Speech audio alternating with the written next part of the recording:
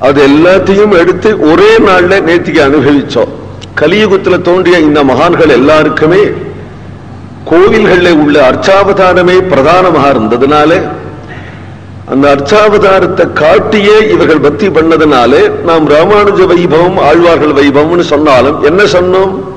ரங்கநாதன் வைபவம் ஸ்ரீனிவாசன் வைபவம் காஞ்சி வரதன் வைபவம் மேல்கோட்டை செல்லப்புள்ள வைபவம் என்று பகவானுடைய லீலா வைபவங்கள் தானே அமையறது.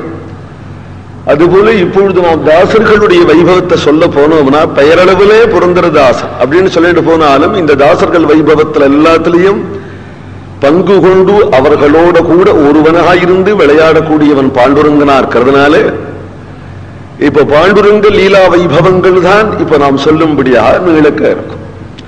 இந்த தாசர்களே கன்னட பக்தர்களுக்குள்ளே அஷ்டதாசர்கள் பிரதானமாக சொல்லப்படுறார்கள் அந்த அஷ்டதாசர்களுடைய வைபவங்களையும் அவர்களுடைய சிஷியர்களாக இருந்த இன்னும் சில தாசர்களுடைய வைபவங்களையும் சொல்றதா இந்த பக்த விஜயம் அஷ்டௌ தாசகா ஞான வைராக்கிய பூஷணாக தேஷு முக்கியா மகாத்மானோ ஹரிபக்தி பராயணாக ஸ்ரீபாதராஜோ வியாசஸ்சே வாதிராஜ புரந்தரः ஜகநாதश्च கோபாலோ விஜய கனகஸ்ததா தேஷாம் வக்ஷ்யாமி மாகாத்மியம் கலிகல்மஷநாசனம் யஸ்ய ஸ்ரவண மாத்திரேண பிரீணாதி பகவான் ஹரிஹி இந்த அஷ்டதாசர்களுடைய சரித்திரங்களை நாம் கேட்டாலேயே பாண்டுரங்கன் பிரசன்னமாகிறார். ஒரு குழந்தையினுடைய பெருமையை சொல்லிட்டு இருந்தோம்னா தாயாருக்கு சந்தோஷமா இருக்கு இல்லையா அதுபோல பக்த விஜயத்தை சொன்னா யாருக்கு சந்தோஷம்னா பகவானுக்கு சந்தோஷம். என்னால் பரதஸ்ய கதாம் குரு அப்படிங்க.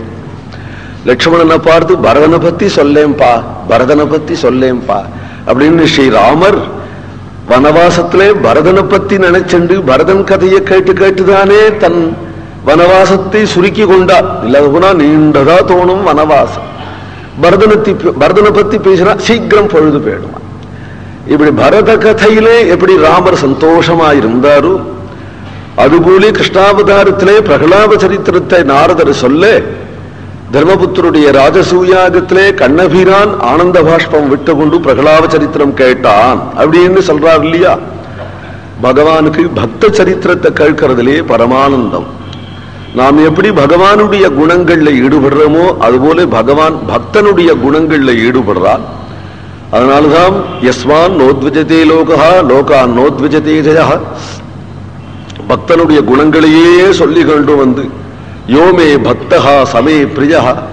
பக்தாகா தே அதீவமே பிரியாக பக்தர்கள் தான் எனக்கு மிகவும் பிரியமானவர்கள் பக்தர்கள் தான் எனக்கு மிகவும் பிரியமானவர்கள் என்று சொல்லிக்கொண்டே வர பக்தர்கள் பிரியமானவர்கள்னு சொல்லும் பொழுது அந்த பக்தர்களுடைய குணங்களை சொல்றான் சமநிந்தா ஸ்துதிகி நிந்த ஸ்துதி ரெண்டுலையும் சமமா இருப்பார்கள். சமலோஷ்டாஸ்ம காஞ்சனக ஓட்டாஞ்சல்லியும் பணமும் அவர்களுக்கு சமமாக இருக்கும். அவர்கள் நிந்த ஸ்துதி ரெண்டும் சமமாக இருக்கும். என்னையே ஆசிரிச்சிருப்பார்கள் என்னிடத்திலே பரமப்பிரேமை கொண்டிருப்பார்கள். அத்தகைய என்னுடைய அடியார்கள் எனக்கு மிகவும் பிரியமானவர்கள் என்று பகவான் சொல்றார். இந்த அஷ்டதாசர்களிலே ஸ்ரீபாதராயர் அப்படிங்கிறவர். அவருடைய சிஷ்யரான வியாசராயர். வியாசராஜருக்கு நான்கு சிஷ்யர்கள் பிரதானமான சிஷ்யர். சிஷ்யர்களுடைய பெருமையை கேட்டாலேயே குருவினுடைய பெருமை நமக்கு தெரிஞ்சிடும். வியாசராஜர் எப்பேற்பட்டவர்?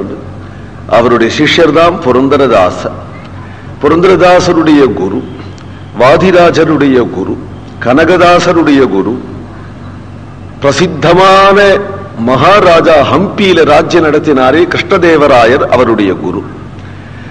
நாலு பேர்கள் மகாப்பிரகாசமானவர்கள்.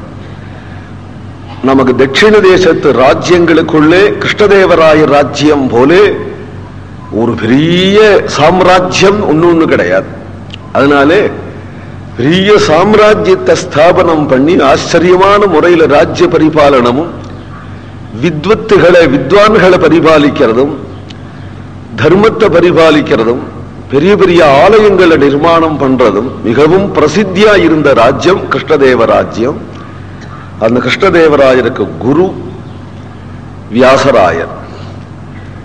பிரசித்தமான வித்வான் சாஸ்திரஜர்களுக்குள்ளே பிரசித்தமானவர் வாதிராஜா. சுவாமி வேதாந்த தேசிகருடைய சமகாலத்திலே வித்யாரண்யருடைய சமகாலத்துல இருந்தவர் வாதிராஜருங்கிறதுனாலே தேசிகர் எப்படி யாதவாபியுதயம் அப்படின்னு கிருஷ்ண சரித்திரம் பண்ணியிருக்கிறாரோ அதே போலயே இவர் ருக்குமணீச விஜயம் அப்படின்னு கிருஷ்ண சரித்திரம் அதுக்கு சமானமாக அவர் எப்படி எல்லாம் வர்ணிச்சிருக்கிறாரோ அதுபோல இவர் வர்ணிச்சிருக்கிறார். அந்த ருக்குமணீச விஜயத்தினுடைய ஒவ்வொரு சர்க்கத்தினுடைய முடியிலையும் விட்டலனை பத்தி சொல்றார். மகாராஷ்டிரத்துல ஹரி விஜயம்னு ஒரு காவியம் இருக்கு. அந்த காவியத்துல கிருஷ்ணலீலை எல்லாம் தசமஸ்கந்த ரீதியிலே பாகவதத்தில் உள்ள தசமஸ்கந்த ரீதியிலே ஓவி சந்தஸ்ல கிருஷ்ணலீல பூரா சொல்லிட்டு வந்துட்டு கடைசியில அந்த கிருஷ்ணன் பண்டரிபுரம் வந்ததை சொல்லி ஹரி விஜயம்ங்கிற கிரந்தம் முடியும் அதுக்கப்புறம் தான் பக்த விஜயம்.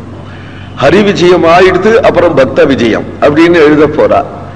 அந்த ஹரி விஜயம் எப்படி கிருஷ்ணலீலையை சொல்லி அந்த கிருஷ்ணன் தான் பண்டரிபுரத்துல இருக்கிறான் அப்படின்னு காண்பிச்சிருக்கிறாரோ அதுபோல வாதிராஜ சுவாமிகள் ருக்குமணீஷ விஜயத்துல பகவான் கிருஷ்ண லீலைகளை சித்திரகவியாக ஆச்சரியமான விருத்தங்கள்லே ஆச்சரியமான முறையில் இந்த காவியங்களை எழுதின வந்து